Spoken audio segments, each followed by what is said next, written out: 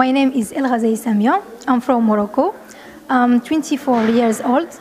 I can speak five languages, Arabic, French, English, Chinese, and Spanish, of course.